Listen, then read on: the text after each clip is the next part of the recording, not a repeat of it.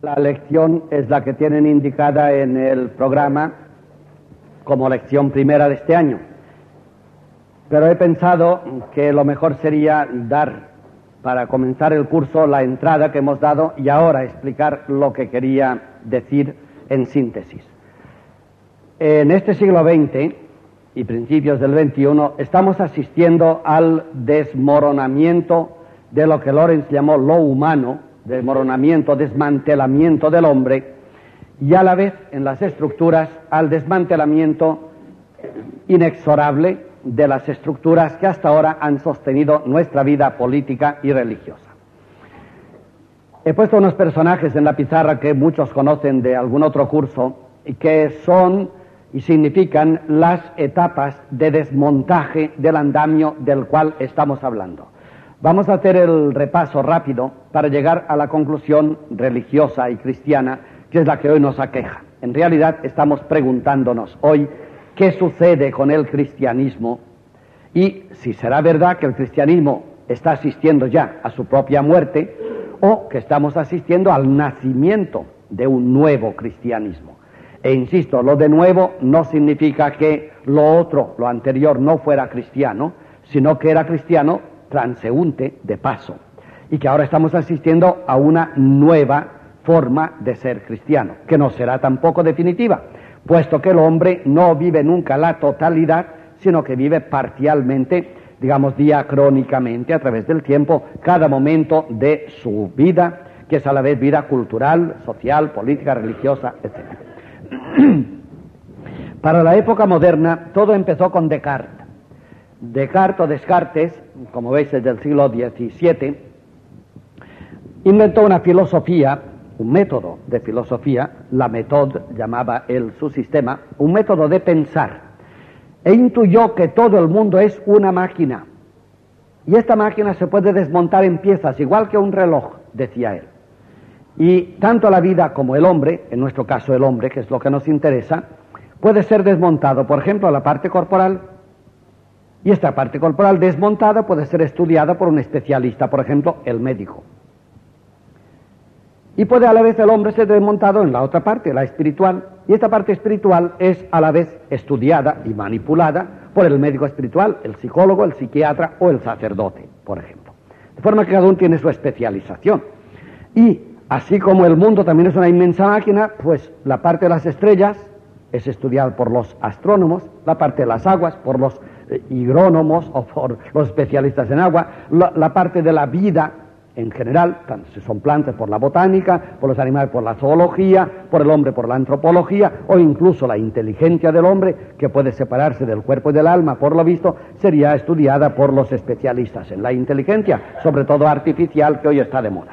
Es decir, Descartes dijo, el mundo es una perfecta máquina, se la puede desmontar en piezas y se puede estudiar cada pieza independientemente de los demás. Por tanto, si el hombre tiene un riñón enfermo, esto pertenece al cuerpo y el médico, curando el riñón, ha curado al hombre.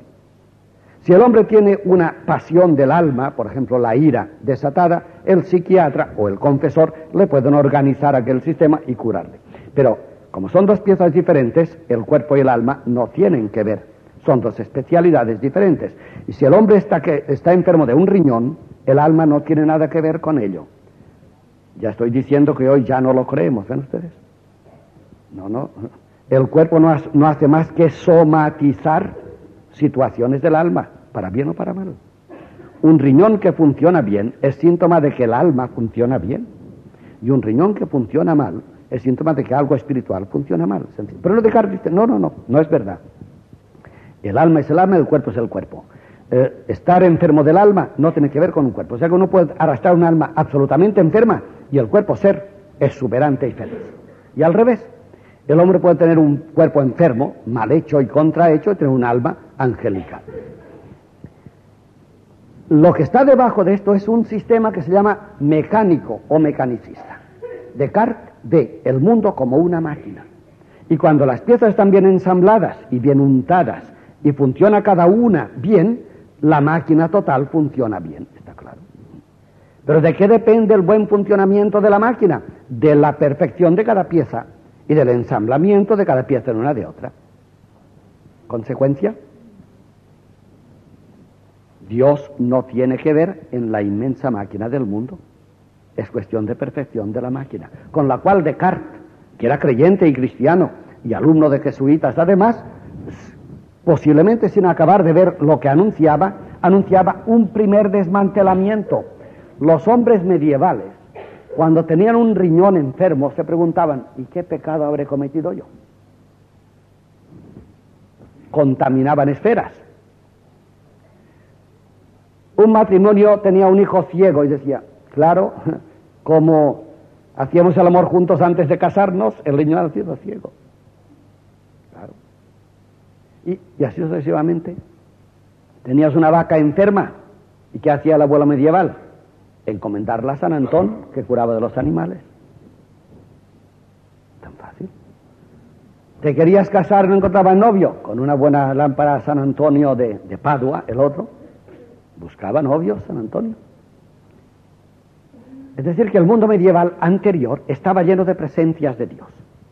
Una vaca enferma significa que Dios anda por aquí castigando algo.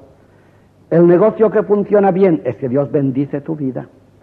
Tus hijos nacen correctos y no van por malos caminos, es que tú tienes un matrimonio bien organizado. Que anda mal alguno de tus hijos, pues ya puedes buscar en ti alguna falta. Decir, que esto no es una máquina, sino que Dios interviene.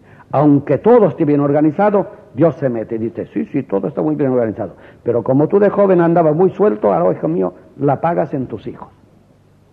Bueno, pues Descartes desmanteló este sistema de nuestros abuelos hace 300 años dijo, no, el mundo es una máquina. Si tú eh, tienes una vaca enferma, pues lo primero es de preguntar, ¿y de qué está enferma? Y lo segundo, buscar un buen veterinario. Déjate de San Antón que no cura. Los veterinarios curan. Y es verdad, claro, el hombre del 17. Toma, y es verdad, claro. A ver, hoy somos hijos de esta situación. Tú tienes una vaca enferma. ¿Por dónde tomas? ¿Qué camino tomas? ¿Rezas Padre Nuestros o llamas al veterinario? ¿Llamas al veterinario? Pues ya estás con Descartes. Hay que rezar Padre Nuestros. Cuando una vaca está enferma, claro. Tú esperas un niño que llevas en el vientre y quieres que salga correcto, pues encomiéndalo a algún santo del cielo. El ginecólogo es secundario, ni, hace falta ir siquiera. Tú, encomiéndalo a un santo del cielo. Esto no, no lo cree nadie de aquí dentro, seguro. Puedes encomendarte, evidentemente, pero estás muy seguro que encomendando tu hijo que van a hacer a un santo, si descartas al ginecólogo, puedes comprometer el fruto de, de tu entraña, ¿verdad que sí? Esto es Descartes. Dios no interviene en la vida. Las cosas que funcionan bien, el, dentista, el ginecólogo, el ginecólogo, el médico, el especialista, el agrónomo, todos son una pieza y si son buenas las piezas, funcionan. Primer término, Dios, Dios existe, evidentemente, pero Dios no interviene en la naturaleza. No interviene. La naturaleza es una máquina perfecta y es, nos toca a nosotros que las piezas sean perfectas. Si son perfectas, funcionan. Y de hecho aquí está, desde entonces ha, progresado tanto la ciencia moderna que proviene de Descartes en gran parte. La ciencia llamamos experimental. La medicina sabe dónde intervenir y cuándo. Y muchos estamos aquí vivos gracias a la medicina, que estaríamos muertos. Bueno, los que no hemos hecho la experiencia de rezarle a los santos cuando estábamos enfermos, no sabemos. A lo mejor sin médicos estaríamos aquí vivos gracias a los santos en los cuales confiábamos. Lo cual, como hoy Hoy, esto está cambiando ya otra vez, puede ser muy bien. Está claro que todos ahora empezamos a intuir que muy bien que el enfermo, digo que el médico o el cirujano te raje de arriba abajo, muy bien. Pero si tú, gracias a un Padre Nuestro rezado a un santo, has logrado ponerte sereno y tranquilo, el santo puede ayudar mucho. Porque si vas tembloroso al cirujano y te raja, puedes no levantarte. En cambio, la serenidad lograda por una paz espiritual, la intervención de un santo, la seguridad de que los santos están contigo, puede ser la salvación de una situación difícil. Ahora estamos descubriendo esto, pero Descartes lo había tirado abajo. Lo había tirado abajo. Dios no interviene. Dios no interviene. Luego, una vaca enferma la cura la ciencia. Dios no. Si la dejas en manos de Dios, la matará, se morirá la vaca. Claro. Una epidemia de, cerdos, epidemia africana, acaba con todos los cerdos. Acaba. Ahora, si a un buen veterinario y los vacuna a tiempo, salvarás los cerdos. Dios no interviene, la máquina es perfecta. Nuestros abuelos tuvieron que hacerse con esta idea que venía, sin darse cuenta ellos, con una fuerza arrolladora. Acababa con mil años de edad media. La ciencia, la que pone en su lugar y unta bien cada una de las piezas del universo, esta es la responsable de la marcha del mundo. No invoques a Dios. Dios está en el cielo. El mundo funciona según nosotros lo manejamos. Segundo punto. Galileo. Galileo dio un paso más y es importante. Otro creyente también, también del siglo XVII y además con problemas con la iglesia que no vamos a tocar, decía, a fuerza de observar, esto ya es Copérnico, a fuerza de observar me he dado cuenta de que estamos equivocados. No es el Sol el que da vueltas en torno a la Tierra, como habían creído siempre, y como parece además. Es la Tierra la que da vueltas.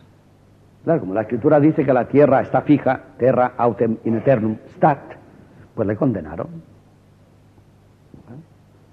Ah, pues si la Iglesia condenó a, Galileo y Galileo tenía razón, la Iglesia condena a los que tienen razón. Sí, señor. ¿Y qué? Otra vez la pregunta. ¿Y qué, qué se deriva de ahí? Sencillamente que la Iglesia condena a los que tienen razón. Muy bien. ¿Y qué? Esto es muy malo, ¿eh? Porque los que no hemos sido condenados por la Iglesia es que no tenemos razón.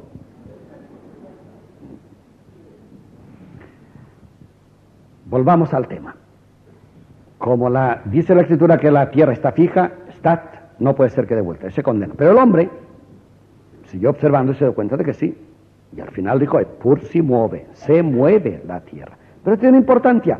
Y no la vio Galileo. O sea que ahora resulta que es la tierra la peonza y el sol está fijo. Hoy sabemos que no, pero en fin, el sol sí, en cuestión con la tierra está fijo y la tierra da vuelta consecuencia, que vino lentamente, pero vino inexorable. Entonces la tierra, si es ella la que baila, no es el centro del mundo. Esto es una catedral que se viene abajo.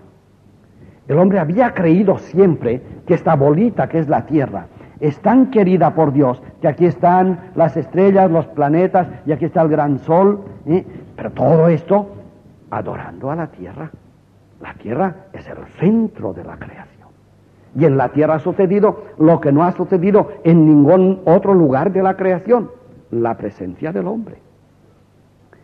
Y ahora resulta que no, que no, que esta baila como los demás y, que este es el amo, el amo o su galaxia, esto ya es otro tema, este es el amo. Entonces la tierra no es centro de nada, exactamente. Galileo dice que la tierra no es el centro del universo, no lo es. Con lo cual el hombre sintió que su bolita en la cual vive está descentrada. O sea, entonces sucede que si la Tierra es el centro, puede haber otra Tierra igual. Claro. Anda. Y, ahora qué pasa con los habitantes de los Pero lo curioso es que a puerta de pensar, ahora ya decimos, ¿cómo que otra Tierra igual? Miles de millones de tierras iguales y mejores. Entonces estamos Estamos perdidos en la inmensidad del universo, una bolita rodando por azar, y por azar apareció el hombre. ¿Se acuerdan? ya, lo hemos hablado mil veces, lo volveremos a hablar todavía. Jacques Monod dice que la vida es un azar. No solamente es un azar en la tierra, sino que a lo mejor la vida, como Hoy le está explicando todavía, quizá la vida no es original de la tierra, quizá vino importada la vida esta tierra no era nadie y de golpe un polvo estelar trajo la primera semilla de vida en la tierra. O sea que la tierra, la, vida ni siquiera nació en nuestra tierra, vino y es una importación. Al que hay problemas, ¿verdad? Importada. ¿Con qué millones y qué banco la importó?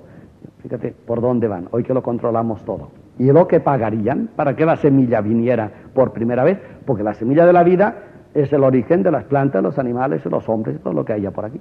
Así que Galileo sin darse cuenta bien, sacudió otra vez el andamio y dijo, no, no, la tierra no es el centro. Pero nuestros abuelos, después de Galileo, se quedaron todavía, se consolaron un poco. Bien, la tierra no es centro de nada. Pero lo cierto es que la tierra que no es centro de nada, por lo menos tiene un centro y un cogollo y un ombligo, como decimos tantas veces. Y el ombligo de la tierra, la causa y explicación de la tierra es el hombre.